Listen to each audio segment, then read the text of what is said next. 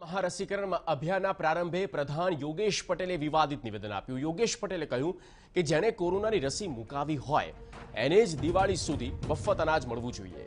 હવે આ મુદ્દે તેઓ સીએમ વિજય રૂપાણીને પણ રજૂઆત કરવાના છે. આ સાથે જ અમીબેન રાવત, કે જેઓ કોંગ્રેસના નેતા છે, તેઓ આપણી સાથે જોડાઈ ચૂક્યા છે. અમીબેન, યોગેશ પટેલે આ સ્ટેટમેન્ટ આપ્યું છે કે જે વેક્સિન લેશે, તેઓને જ અનાજ મળશે અને જેને નહીં લીધી હોય તે લોકોને અનાજ આપવામાં નહીં આવે. આની ઉપર આપનું પહેલું રિએક્શન આ કેટલું યોગ્ય? એક રીતે આડકતરી રીતે નાગરિકોને ધમકી આપે એ રીતનું આ નિવેદન છે. સૌ પ્રથમ તો ભારત રાજ્ય હજી રસીને કમ્પલસરી નથી કરી. તમામ વ્યક્તિને રસી આપવાનું કમ્પલસરી નથી. સેકન્ડલી જ્યારે ભારત ભારત સરકાર એવું કહે છે કે અમે તમામને રસી ડિસેમ્બર સુધી આપી શકીશું અને એ રીતનું પ્લાનિંગ કર્યું હોય તો નવેમ્બર સુધી જેને રસી ના લે એ ગરીબોને અનાજ ના આપે તે ગરીબો ખાશે શું? એક બાજુ કોરોનાના લોકડાઉનના લીધે એમના આર્થિક ધંધા તમામ તૂટી ગયા હોય અને ત્યારે આવા તગલકી આઈડિયાઝ આવે તો ગરીબો સાથે ટોટલ અન્યાય. ને જો પેનિક થઈને આ બધા એક સામટા વેક્સિન લેવા જશે તો શું આટલી વેક્સિન અવેલેબલ છે સરકાર પાસે? સેકન્ડલી પહેલા ડોઝ અને બીજા ડોઝ વચ્ચે એટી સેવન ડેઝનો ડિફરન્સ કોવિશિલ્ડમાં કીધું તો સત્યાસી દિવસ એટલે કે લગભગ ત્રણ મહિના સુધી શું એ લોકોને અનાજ નહીં આપો, તો ત્રણ મહિનામાં તો કેટલા બધા ફેમિલી ભૂખે મરી જશે આમાં. તો એક બાજુ સરકાર એનાઉન્સ કરે છે કે અમે મફત અનાજ આપીશું, તો બીજા, બીજી બાજુ એમના મંત્રીશ્રી એવા નિવેદનો કરે છે કે જ્યાં સુધી રસી ના લે, ત્યાં સુધી અનાજ નહીં આપવાનું નવેમ્બર મહિના સુધીમાં. તો આ કઈ રીતના યોગ્ય કહેવાય? આ નિવેદન ટોટલી ખોટું છે, અફરાતફરી અને ભયનો માહોલ ફેલાવી દેશે.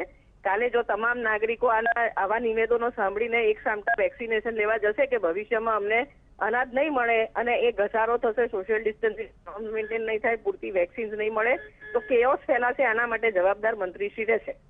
નહીં તો આવનારા સમયમાં તેઓ સીએમ રૂપાણીને પણ રજૂઆત કરવાના છે આ મામલે. ત્યાર પછી કોંગ્રેસ પક્ષનું સ્ટેન્ડ શું રહેશે?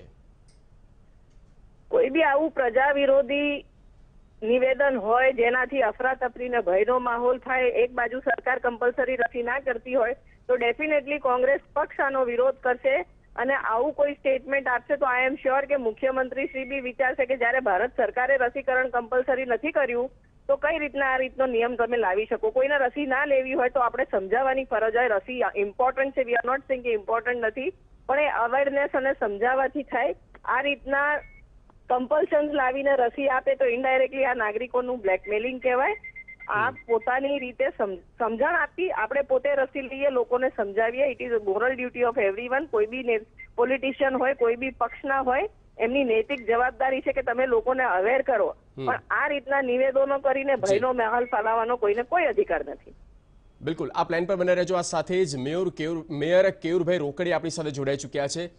કેયુરભાઈ આ જે સ્ટેટમેન્ટ પાસ કરવામાં આવ્યું છે પ્રધાન યોગેશ પટેલ તરફથી કે જેણે કોરોનાની રસી મુકાવી હોય એને જ દિવાળી સુધી મફત અનાજ મળવું જોઈએ અને તેઓ રજૂઆત કરવાના છે સીએમને આની ઉપર આપનું પહેલું રિએક્શન આ કેટલું યોગ્ય? પહેલા હું આની પાછળની મંશા માનની યોગેશભાઈને આપને એકવાર જણાવી દઉં કે બધા રસી લઈ લે. આ વિષય લઈને યોગેશભાઈ આ સ્ટેટમેન્ટ કર્યું હશે. આવું મારું માનવું છે. પરંતુ આની પાછળ ક્યારેય આવું ના થઈ શકે કે ભાઈ જેને રસી લીધી હોય એને જ અનાજ મળે.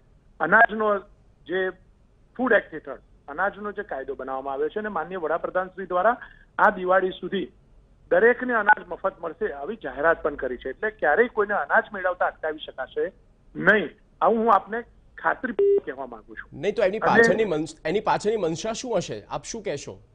મનસા હું યોગેશભાઈના જ્યાં સુધી મને તમારા રજૂઆત મળી છે તો હું એવું ચોક્કસ કહી શકીશ કે બધા લોકો વેક્સિનેટેડ થાય.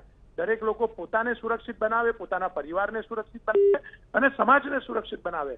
આની પાછળનો આશય છે. આની પાછળનો અનાજ વિતરણ નહીં કરવાનો કોઈ આશય નથી. એટલે આપની આપની આપની દ્રષ્ટિએ આ નિવેદન ખોટું છે એવું આપ માનો છો? હું એવું ચોક્કસ કહી શકું. મેં એક્ઝેક્ટ નિવેદન શું છે સાંભળ્યું નથી. પરંતુ એવું ચોક્કસ કહી શકું કે આની પાછળ અનાજ નહીં આપવું આવો કોઈ આશય યોગેશભાઈનો ના હોઈ શકે. એ પણ સરકારના રિસ્પેક્ટેડ મંત્રી છે. આની પાછળ એમનો આશય હંમેશા બધા રસી લઈ લે અને આ વિષયની અંદર શું અગ્રેસિવ થઈ શકે નહીં તો પછી આ બેવડી વાત છે. ચલો એની ઉપર પણ વાત કરીશું પણ અમીબેને પણ અમીબેન પણ આપણી સાથે જોડાયેલા છે ને તેમના તરફથી પણ કહેવામાં આવ્યું છે કે નાગરિકોનું બ્લેકમેલિંગ છે સીધું આ. કેરુભાઈ આની ઉપર આપ શું કહેશો? જો અમીબેન પોતાના મંતવ્ય રજૂ કરી શકે ક્યાંય કોઈ નાગરિકોનું બ્લેકમેલિંગ આ લોકશાહી દેશ છે. આની અંદર કોઈ નાગરિકોનું બ્લેકમેલિંગ ના થઈ શકે. અને કોઈ ઊંધા છતાં શબ્દ વાપરીને કોઈની પર આક્ષેપ કરવો બહુ સહેલો છે. પરંતુ આની પાછળ એક નાગરિક તરીકેની મારે સભાનતાપૂર્વક અમીબેન ટૂંકમાં ત્રીસ સેકન્ડમાં આપ કેયુરભાઈને કઈ કહેવા માંગો છો આ બાબતે? કારણ કે કેયુરભાઈ સીધી રીતે પક્ષમાં નથી. સૌ પ્રથમ તો કેયુરભાઈ પોતે કે આ સેન્ટર આનું જે વાક્ય છે જે નિવેદન છે એમને સાંભળ્યું નથી એવું કહી રહેશે? બીજી બાજુ પોતે જ કહે છે કે અનાજ ના અપાય એવું કોઈ સંજોગમાં બને નહીં. તો નિવેદન તો એ જ છે કે વેક્સિન ના લે એમને અનાજ નહીં આપવાનું. તો ભારત સરકારે જે એક બાજુ અનાજ વિતરણની ગેરંટી આપી છે. બીજી બાજુ ભારત સરકાર જ એટલે આ નિવેદન આ નિવેદન સતત વખોડવામાં વખોડવામાં જ આવી રહ્યું છે આડકતરી રીતે. પણ કેયુરભાઈ અને અમીબેન આભાર. આપ અમારી સાથે આ ચર્ચામાં જોડાયા તે બદલ.